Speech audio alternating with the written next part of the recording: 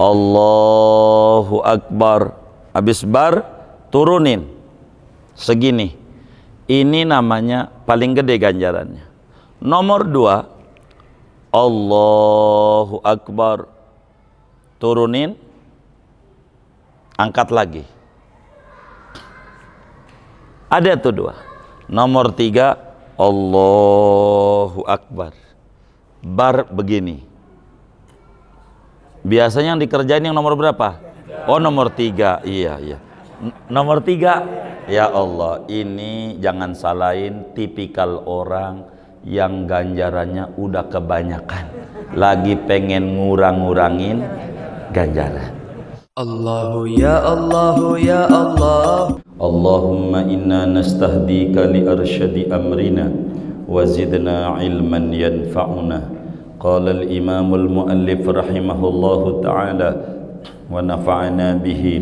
wa bi barakati ulumihi wa ghafara lahu wa limasyaikhihi wa limasyaikhina amin wa wad'uhuma tahta sadrihi wa fawqa surratihi lil ittiba'i dan disunatkan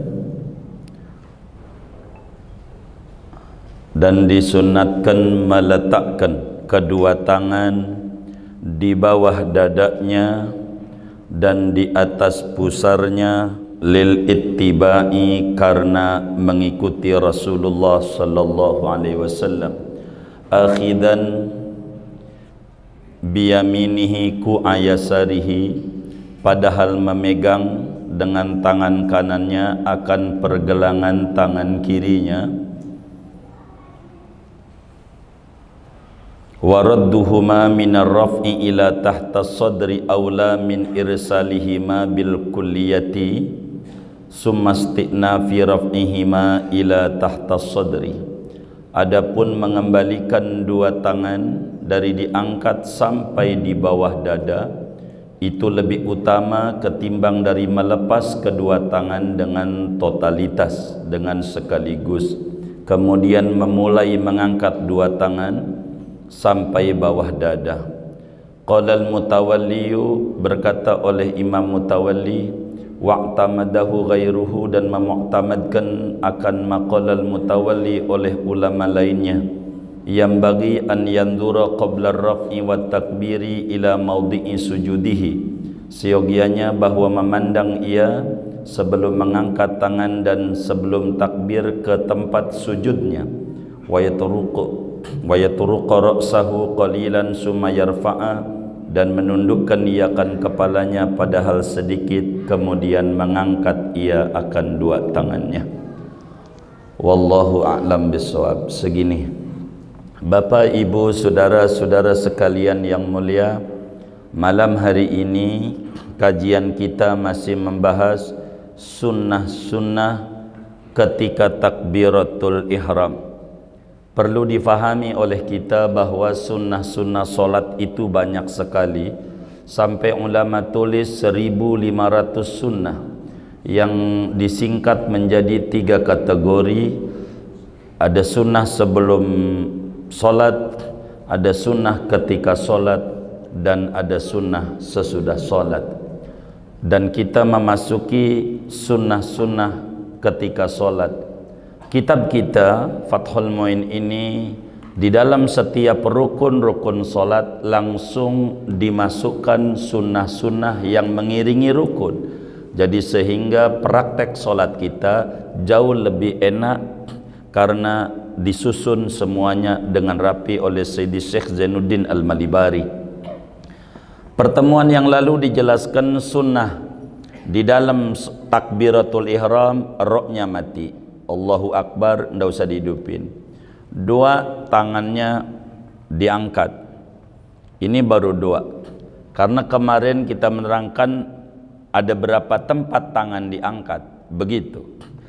Nah kemudian malam hari ini kita memasuki yang keberapa ini? Uh, uh, pertama menjazamkan roh dua menjaharkan takbir ketiga mengangkat tangan dan malam hari ini yang keempat. Apa itu sunat takbir yang keempat? Sesudah tangan kita diangkat saudara sunat tangan kita diletakkan dengan posisi di bawah dada dan di atas pusat. Prakteknya begini jadi kalau takbir saudara kalau takbir kita begini Allahu Akbar. Bar tuh habisnya di sini. Ini bar habis. Selesai bar itu habis di sini. Ini di gimanain tangan nih habis bar nih? Diapain tangan kita? Maka kudu diturunin. Nah turun ini bagaimana? Ini mau mengatur turun bila takbir sudah selesai takbir Allahu Akbar bar tuh tangan habis di pundak posisi tangan. Ada kesunatan berikutnya tangan ini diturunin. Diturunin. Bagaimana turunnya? Biasa aja. Tidak ada kesunatan menurunkan tangan kanan dulu inilah yang kelirunya orang di dalam meletakkan tangan dalam takbir. Ketika turunnya tangan kanan dulu bakal bermasalah. Dan ini yang terjadi pada praktek solat sebagian saudara kita. Ketika dia tangan turun Allah Allahnya begini tangan kanan duluan. Otomatis tangan kiri di atas. Oh salah kayaknya. Benar apa salah ini itu yang diputer-puter tuh itu gara-gara kesalahan memahami ajaran jadi abar tuh di atas. Sesudah takbir beres, tangan diturunin. Allahu Akbar baru turun. Jangan barnya tangannya disidakap. Allahu Akbar. Ada nggak yang model begitu? Yang mana orangnya nih? Ah, ini. Ya Allah, ngantuk ngajinya. Ini harus benar. Ini kesunatan yang keempat, sesudah tangan diangkat, tangan sunat diturunin sesudah beres takbir. Sesudah beres takbir. Turun tuh bukan takbir belum beres. Allahu Akbar. Namanya udah beres tuh takbir. Tangan diturunin. Bagaimana? Wa wad'uhuma sesudah beres itu tangan takbir. Sunat tangannya diletakkan di mana posisinya diturunin? Di bawah dada dan di atas pusar. Jangan tangannya di atas dada. Allahu Akbar. Jangan, jangan juga tangannya di bawah pusar. Burung nggak bakalan terbang tuh burung paten. Ndak usah dipegang. Di bawah dada di atas pusar. Dari mana dalilnya? Di dalam kitab al-mustadrak ala sahihain al-imam hakim riwayatkan.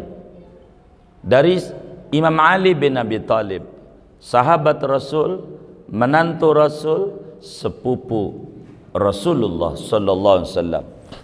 Di dalam mentafsiri ayat inna a'tainakal kautsar fasalli li rabbika wanhar. Mal muradu bi wanhar. Apa makna wanhar? Kata Imam Ali bin Abi Thalib wanhar itu wad'ul yamin 'alal yusra tahtan nahri fis salati jadi fasalli li rabbika inna a'tainakal kausar. Sesungguhnya kami berikan kepadamu nikmat yang banyak. Fasalli maka salatlah engkau wanhar dan letakkan tangan kananmu di atas tangan kiri di bawah lehermu, yakni di bawah dada. Kata para ulama, tidak mungkin Imam Ali mentafsiri ini dari sisi lugat maupun dari si sendiri. Mesti dapat ajaran dari Nabi besar Muhammad sallallahu alaihi wa alihi wa wasallam sebab di dalam kaidah usul ma qalahu sahabi fima la majala lahu fil aqli hukima bil marfu' bila mana sahabat Nabi bicara sesuatu yang tidak ada di dalam pemikiran itu pastikan punya sumber dari gurunya yakni Nabi besar Muhammad sallallahu alaihi wasallam. Imam Ali mengartikan wanhar itu tangan habis Anda takbir taruh di bawah dada di atas pusar. Wanhar. Meski saudara yang sering dengar wanhar itu ngorbanlah begitu. Itu kan yang tafsir kan banyak begitu. Lil ittiba dalilnya karena mengikut Rasulullah sallallahu alaihi wa alihi wasallam. Dari mana lagi? Dalam hadis yang sahih Imam Ibnu Khuzaimah Madhab Syafi'i itu saudara Madhab yang paling hebat Dari sekian banyak madhab yang ada Sebab dalam madhab Syafi'i Begitu banyak Mujtahid Dari kalangan mufassirin Pakar-pakar tafsir bahkan pakar-pakar hadis itu adalah banyak daripada ulama-ulama uh, bermadhab syafi'i. Di antaranya Ibnu Khuzaimah.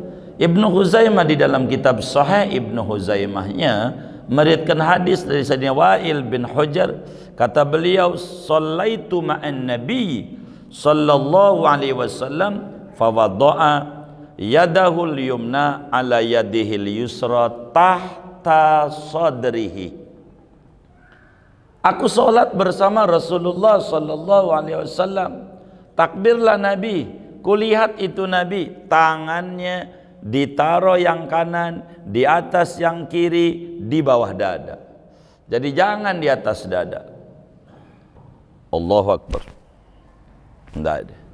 Di bawah dada. Di bawah dada. Di bawah dada.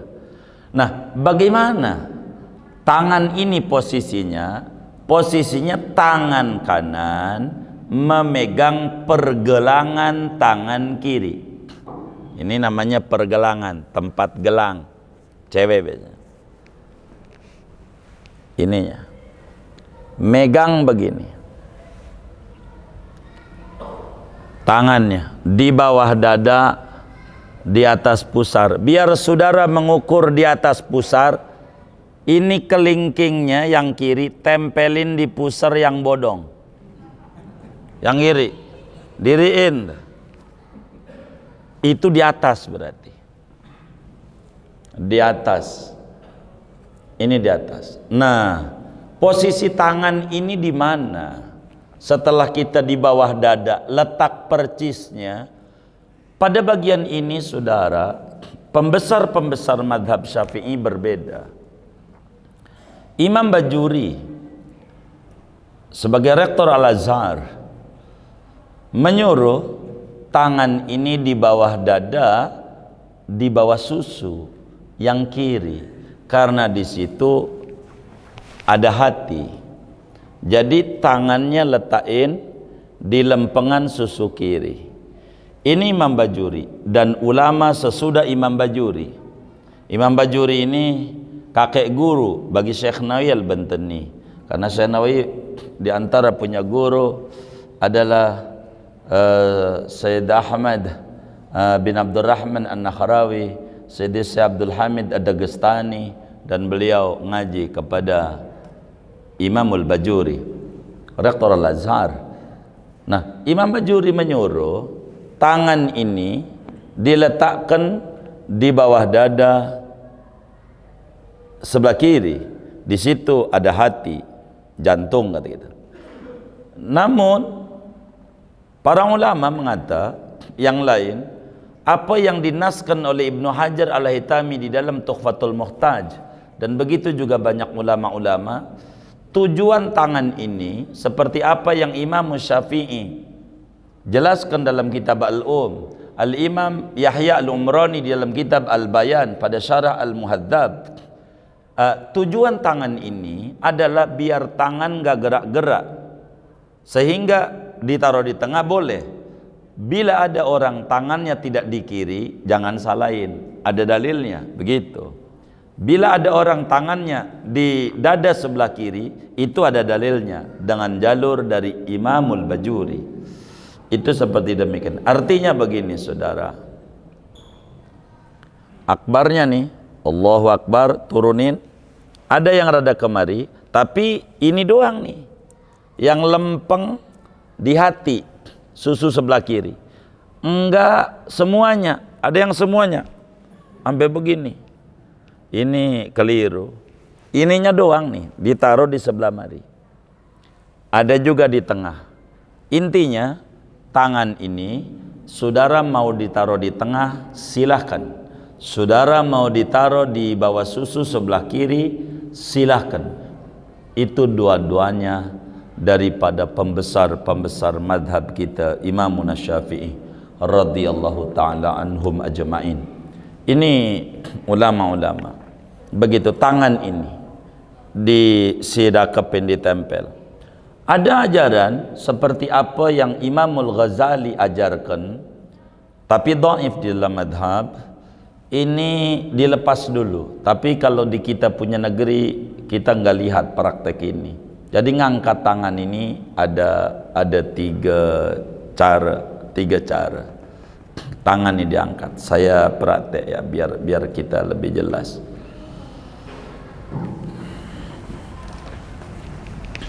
Biar kelihatan. Jadi begini saudara, ada tiga. Pertama nih, Allahu Akbar. Habis bar, turunin. Segini ini namanya paling gede ganjarannya. Nomor dua, Allahu Akbar. Turunin, angkat lagi. Ada tuh dua. Nomor tiga, Allahu Akbar. Bar begini. Biasanya yang dikerjain yang nomor berapa? Oh nomor tiga, iya iya. Nomor tiga, Ya Allah, ini jangan salahin tipikal orang yang ganjarannya udah kebanyakan. Lagi pengen ngurang-ngurangin ganjaran. Yang gede, Allahu Akbar. Bar habis di sini. Baru turunin. Turunin. Turun aja. Turunnya jangan begini. Kalau begini bakal begini begini. Ya, Ada dua ada di tengah silakan ada di kiri ini posisi ini aja nih ini susu kiri ini jantung ada di tengah nggak apa-apa ini jari bagaimana saudara boleh jarinya begini gitu boleh saudara jari begini boleh begini boleh boleh begini ada ada banyak ajaran ini ajaran tangan terkait tangan ini tangan begini Kata Imam Bajuri, ini untuk jagain hati. Hati di sini. Biar hatinya enggak ke mana-mana. Sebagian ulama syafi'i enggak. Tujuan Nabi tangan ada di sedak kepin biar tangan jangan gerak-gerak. Sehingga mau ditaruh di mana aja boleh. Tengah boleh. Dan ini banyak ulamanya. Jadi enggak usah salahin. Terserah saudara. Mau ada kemari boleh, mau kemari juga boleh. Tapi yang penting Allahu Akbar bar habis di sini. Biar rapihan. Sebab kita dituntut oleh Nabi Sallu kama ra'aitumuni. Anda solat sebagaimana yang Anda lihat aku solat. Jangan ngarang-ngarang dalam solat ini. Itu hal yang paling penting buat kita bersama. Maka di sini dijelaskan waradduhuma minar raf'i ila tahta sadri aula min irsalihima bil kulliyah summastina fi wad'ihima ila tahta sadri jadi tangan dari atas langsung ke dada gitu itu lebih baik dibanding dilepas semuanya baru dibalikin lagi sedekap ini Imam Ghazali. Ajarkan ini di dalam kitab-kitab Imam Ghazali. Namun ulama-ulama besar Syafi'i ini dhaif. Kurang kuat ajaran ini. Langsung di dada saja. Langsung di bawah dada. Ingat di bawah dada di atas pusar. Jangan di bawah pusar. Kalau di bawah pusar burung, ndak usah dipegangin. Begitu. Jangan juga di atas dada. Pokoknya di bawah dada ajarannya dan di atas di atas pusar. Itulah. Jadi semua ini saudara, ulama-ulama Syafi'iyah itu uh, tidak ada mengarang-mengarang dalam solat itu. Semuanya juga sandarannya dari Rasulullah Sallallahu Alaihi Wasallam. Tapi kenapa mereka menyebutnya madhab Syafi'i, tidak mengikuti solat Nabi bahasanya? Karena saking tawaduknya ulama-ulama, karena hadis Nabi banyak, banyak sekali. Enggak mau mengklaim karena ilmu Rasulullah banyak. Jadi sehingga mereka tidak menyebutkan bahwa tata cara sholat Rasulullah begitu. Judulnya sama sebetulnya. Kalau mau ditulis tata cara sholat Nabi menurut Imam Syafi'i begitu. Berdasarkan hadis-hadis yang sahih semuanya. Begitu. Apa yang diajarkan dari guru ketemu guru, guru ketemu guru. Kemudian sunnah dalam takbir ini sudah takbir kata Imam Mutawalli yang keberapa ini ya kelima sunnah mata kita memandang tempat sujud. Dari sebelum kita takbir mata kita memandang tempat ha, tempat sujud.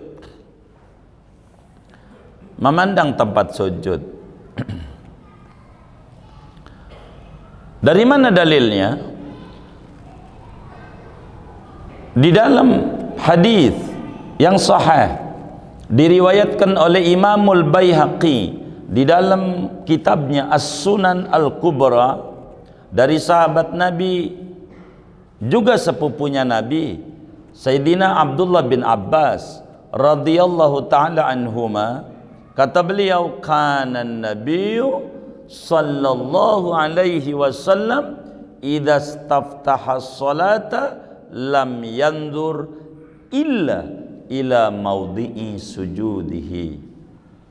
Kata Sayyidina Abdullah bin Abbas sahabat Nabi yang luar biasa. Begitu. 1660 hadis disampaikan kepada umat. Salah satunya ada di dalam Sunanul Kubra Al-Baihaqi. Cukup tebal hampir 10 jilid Sunanul Kubra Imamul Baihaqi menyatakan kata Ibnu Abbas baginda kita Nabi besar Muhammad sallallahu alaihi wasallam bila mana beliau salat beliau tidak pernah memandang kecuali ke tempat sujudnya. Jadi kalau Nabi mau mulai sholat, matanya liatin tempat sujud, fokus itu aja. Tempat sujud tuh, mata kita liatin itu mulu, jangan geser-geser. Kecuali geser pada waktu tasahud illallah.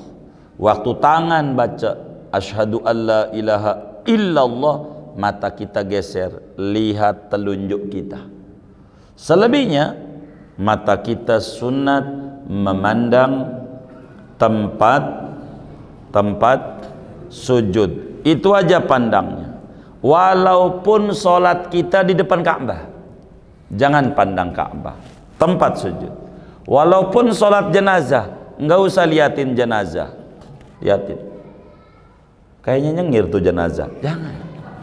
Kita lihatin tempat sujud aja mata kita fokus dan ini mendorong untuk menuju pada kekhusyuan. Saudara sering lihat itu tari sufi yang kayak payung itu. Kenapa dia nggak jatuh? Karena dia fokus. Dia fokus memandang satu titik. Kalau kita selalu fokus memandang satu titik, nggak bakal jatuh. Mau digimanain aja. Mau digimanain aja. Memandang satu titik aja. Dulu ada gubernur di Jakarta diapain aja begini karena dia memandang satu titik nggak jatuh-jatuh sampai kelar begitu itu begitu moga jadi presiden itu begitu saudara jadi kita harus memandang itu satu titik begitu jangan dicatat Jadi saudara, kita tuh kalau sholat memandang satu titik itu aja. Jangan pandang yang lain. Tempat sujud tuh, pandang aja itu. Biarin teman kita bawa kaos dan lob ban yang handal. Enggak usah dibaca. Lagi sholat baca apa aja dibaca. Enggak usah. Liatin tempat sujud aja. Tempat sujud aja. Begitu. Fokus itu aja. Sebelum takbir, sebelum kita Allah Akbar, mata kita nunduk. Nabi begitu. Sebelum takbir, liatin tempat sujud. Sampai fokus, mana titik mana yang kita mau lihat. Titik itulah yang bakal kita lihat. Itu aja guys. Udah itu baru kita eh, tangannya diangkat takbir dan kepala kita nunduk dikit. Nunduk dikit. Itu begitu, nunduk dikit. Begitu. Biar kita nggak ke mana-mana. Biar kita nggak ke mana-mana. Sebab makin banyak yang kita pandang, makin banyak yang kita pikirkan. Tapi kalau satu titik itu enak, saudara. Enak, saudara. Begitu. Kalau memandang satu titik enak. Makanya kenapa orang sholat disuruh nyari tiang, bikin sutro, nyuruh nyari tembok, biar nggak banyak pandangan. Makin banyak pandangan makin repot. Makin repot.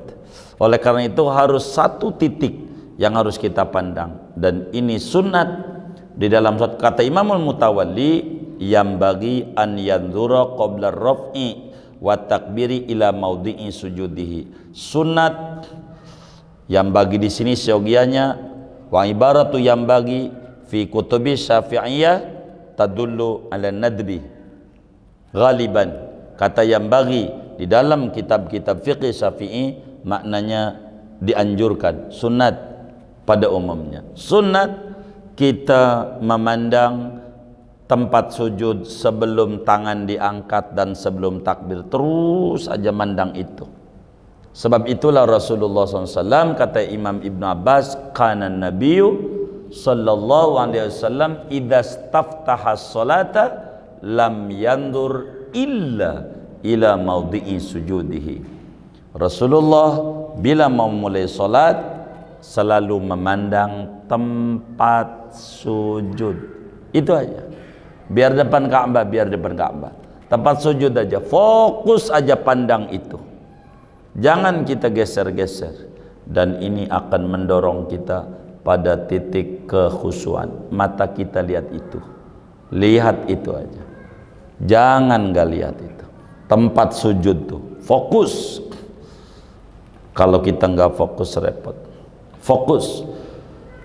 Ini sunat saudara. Di dalam kita solat jadi kembali sunat-sunat takbiratul ihram satu roknya matikan. Allahu Akbar. Kedua dijaharkan bagi imam. Imam jahar termasuk takbir intikal artinya jahar itu nyaring. Ketiga tangannya diangkat. Ngangkatnya mulai takbir sampai habis di atas. Allahu Akbar.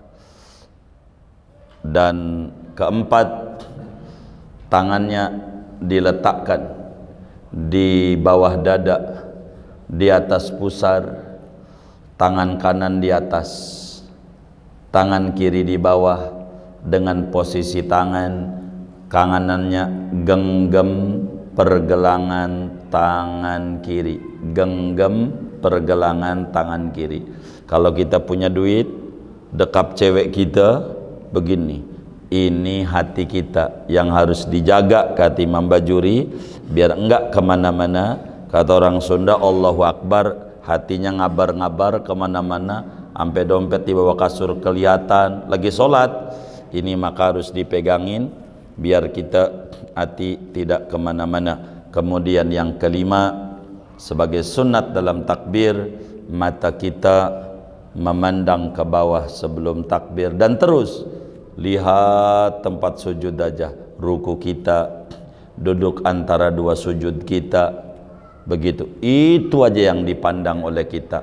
Terus aja sampailah kita pada tasyahud bacaan illallah ganti. Mata kita dari tempat sujud memandang keesaan Allah yang ditunjuk oleh telunjuk kita.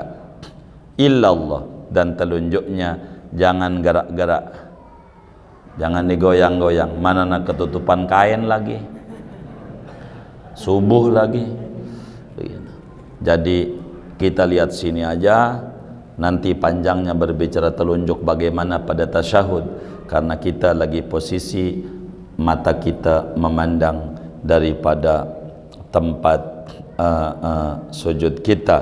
Tempat sujud kita. Begitu. Agar supaya mata kita betul-betul fokus di samping itu kita bisa memandang di tempat sujud kita ada tai cicak apa kagak ya kan bisa aja ada tai cicak tersujud kita di tai cicak lagi kan jadi kita harus pandang itu ke bawah agar supaya kita betul-betul sempurna di dalam kita uh, beribadah kepada Allah Subhanahu wa taala.